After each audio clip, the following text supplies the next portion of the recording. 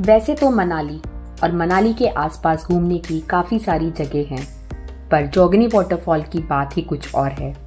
यह 7,850 फीट के हाइट पर है। और ये कहना गलत नहीं होगा कि जोगनी वाटरफॉल हिमाचल का सबसे खूबसूरत वाटरफॉल है। जोगनी वाटरफॉल का ट्रैक मनाली से दो किलोमीटर दूर वशिष्ठ टेंपल से स्टार्ट होता है।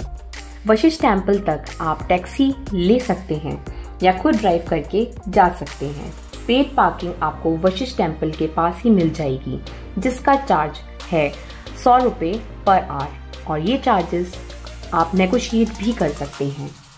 यहाँ पर तीन चार पार्किंग है, और हमें अपनी कार पहली पार्किंग में ही पार्क कर दी। यहाँ से वशिष्ठ टेंपल पाँच से दस मिनट के वॉकिंग डिस्टेंस पर ही है। भगवान श्री राम के गुरु वशिष्ठ जी का 4000 साल से भी पुराना मंदिर है। इसी मंदिर के नाम पर इस गाँव का नाम वशिष्ठ है। वशिष्ठ गाँव से ही आपका ट्रैक स्टार्ट होता है और पहले पाँच मिनट आपको गाँव से ही होकर निकलना पड़ता है। यहाँ पर आप कुल्लू कल्चर की झलक भी देख सकते हैं। रास्ते में आपको छोटे छोटे वाटर स्ट्रीम मिलते रहेंगे।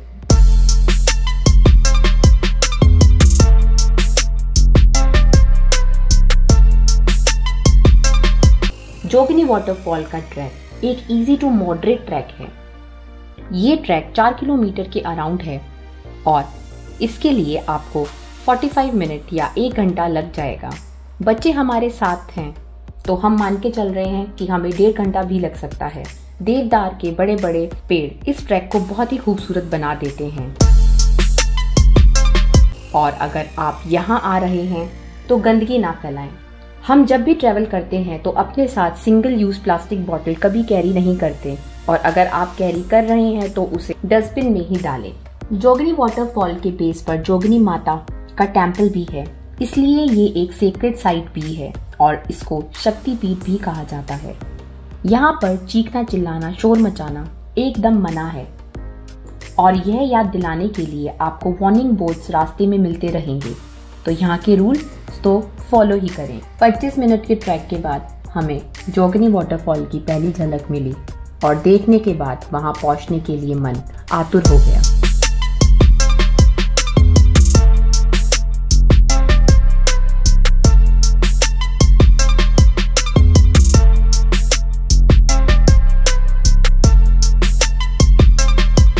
रास्ते में आपको छोटा जॉगनी भी मिलेगा और काफ़ी लोग यहीं से वापस भी चले जाते हैं। पर हम रिकमेंड करेंगे कि आप मेन जोगनी वाटरफॉल तक ट्रैक पूरा करें। यह वाटरफॉल आगे जाकर ब्यास रिवर में मिल जाता है। छोटा जोगनी पार करने के बाद से ही आपको इस ट्रैक पर काफ़ी सारी सीढ़ियाँ मिलने लगेंगी, जो आपको थका देती हैं। पर ट्रैक की खूबसूरती और ट्रैकिंग का चैलेंज आपको आगे बढ़ने का मोटिवेशन देता रहेगा।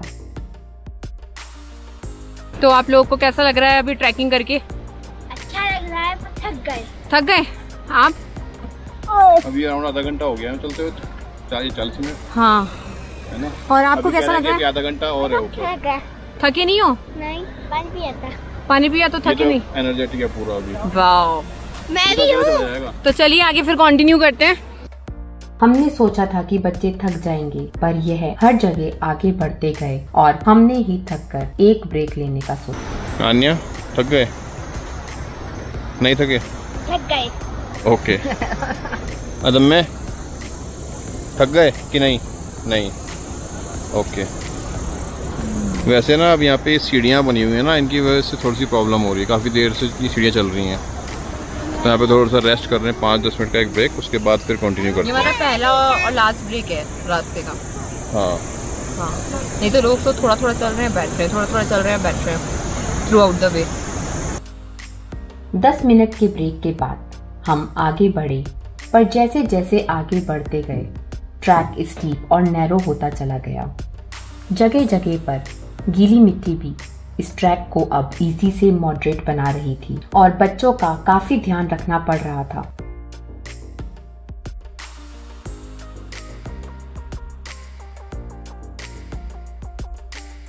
आप देख सकते हैं कि ट्रैफ़िक जैम लग गया है।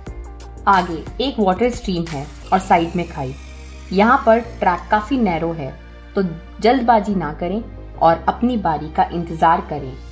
साथ ही पाँव संभाल कर और जमा कर रखें। पूरा ट्रैक इजी है, पर लास्ट के 10 से 15 मिनट या 25 परसेंट ट्रैक थोड़ा स्टीप और नैरो भी है। यहाँ पर आगे छोटे बच्चे आपके साथ हैं तो उनका काफ़ी ध्यान रखना पड़ेगा। हम रिकमेंड नहीं करेंगे कि 10 साल से छोटे बच्चे या फिर बड़े बुज़ुर्ग इस ट्रैक को करें।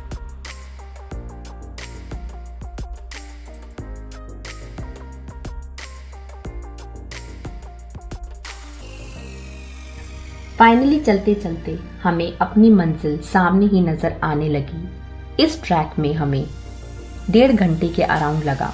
और जोगनी वाटरफॉल के साथ ही यहाँ के नज़ारों को देखने के बाद सारी थकान दूर हो गई।